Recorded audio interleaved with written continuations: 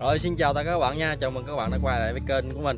Và video hôm nay thì à, mình sẽ giới thiệu cho các bạn một cái à, ngôi nhà gỗ các bạn. Thì ở đây là cái ngôi nhà mà à, ba mẹ mình tự làm luôn.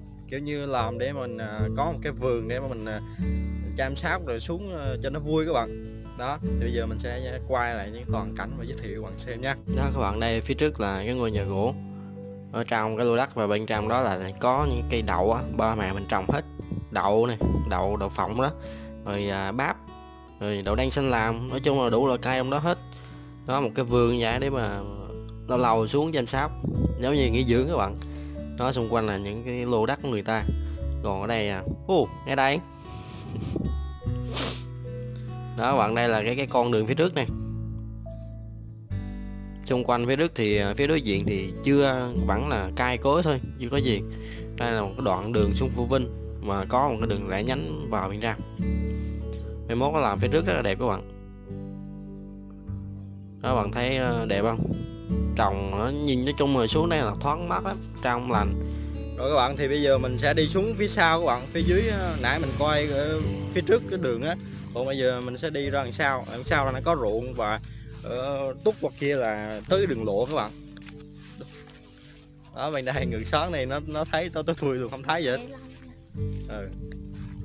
rồi à, chút nữa mình à, quay xong xung quanh là mình sẽ vô trong đó mình quay cho bạn xem nha. Nơi này các bạn đây là cái cái đoạn ở phía sau này cái máy bên sau. Nó hơi thấp hơn ở dưới phía dưới thấp hơn. Mình sẽ có những cái ao dưới. Ao đó mình cũng, cũng không biết có cá không nữa mình chưa có xem. Nó đây có hàng rào để ngăn cách nữa các bạn. Đó phía dưới người ta cũng có trồng chuối trồng đồ cũng, cũng nhiều. Ừ, đây là phía sau nè phía sau là trồng bắp này chuối các bạn. Thì nhỏ nhỏ mà xinh xinh. Đó bạn đây phía sau nè. Nó có xuống mấy cái cái ao dưới này đó chỗ này mình quay. Cái đoạn này mình quay nó bị mất tiếng các bạn nên à, có những cái đoạn mình à, sẽ lồng tiếng vào. Ở dưới này à, nãy mình có thỉnh thoảng như cũng có cá đó nhưng mà cũng cũng tìm nãy giờ cũng, cũng khó thấy chắc cũng ít chứ đây một cái cái ao hồ nhỏ nhỏ này. Đó bạn thấy bọt nữa thấy đây như là đúng chắc cảnh quê luôn các bạn. Nhìn nó bình yên mà nó trong lành lắm. Hot girl dọc nước. Nó còn cái này là cây xương rồng này chắc chắc nhiều bạn ở thành phố chắc cũng không biết đâu. Đó, hồi xưa mình nhớ mà có những người mà đi đi chơi đường như quê nó nhiều cây này lắm. Cái có những vụ tai nạn á té người ta vang vô là mấy cái, cái, cái cây nó đâm vô lưng nó đau lắm. Về là phải rút cài cài ra rất là đau rồi ok các bạn thì bây giờ mình sẽ dắt các bạn ờ, vô bên trong ờ, nhà bên kia. À, có vườn trong đó thì mình sẽ quay những cái cây có gì trong đó nha các bạn. Đó thì đây là cái ờ, cây bắp các bạn. Bắp này thì nó đang lớn chưa có trái đâu nó phải lớn cao hơn. Đây cũng, cũng mới trồng này nó cũng chưa ra.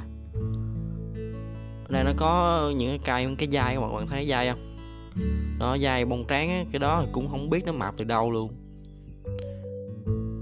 không biết nó có ảnh hưởng gì không. Đây là mẹ mình nè.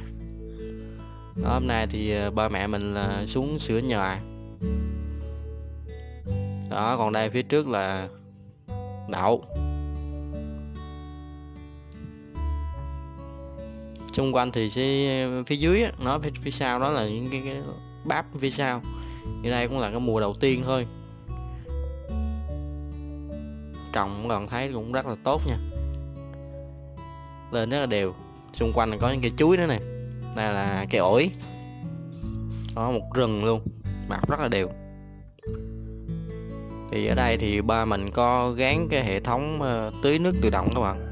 Mỗi lần tưới nước thì mình chỉ cần ờ, mở máy bơm lên thôi. Còn đây là những cây nấu chè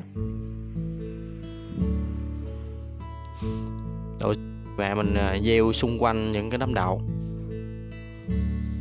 đó còn đây là cái cái trái này. Trái được khi bạn thu hoạch đó thì mình sẽ bóc những cái, cái hộp có bên trong. Một cái mát trong rộng như vậy nó sẽ là một hộp.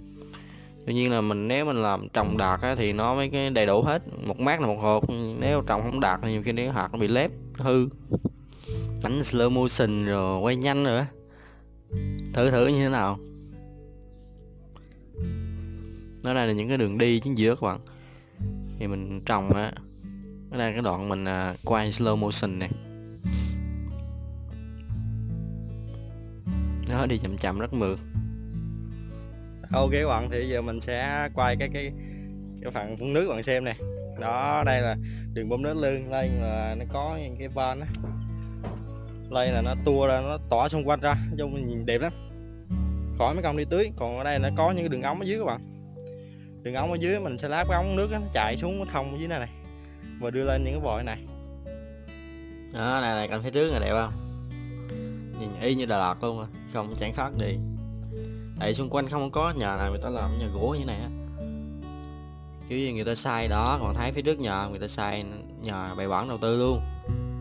Còn đây nhìn nhà gỗ thì nó lạ làm đơn giản mà nhìn đẹp. Bây giờ mình đang đứng ở trước nhà gỗ này. À đây đường vô này cần che nắng che mưa thôi. Đó.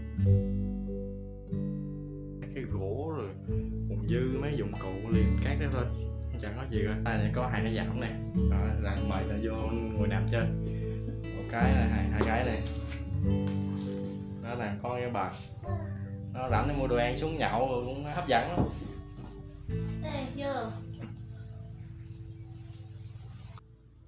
Đó cái cái đoạn này thì mình mất tiếng mẹ mình ờ, giới thiệu về ờ, giống bắp không sâu. Đó nhưng mà rất tiếc tiếng nó bị tát mắt nên là mình sẽ phụ đề vào.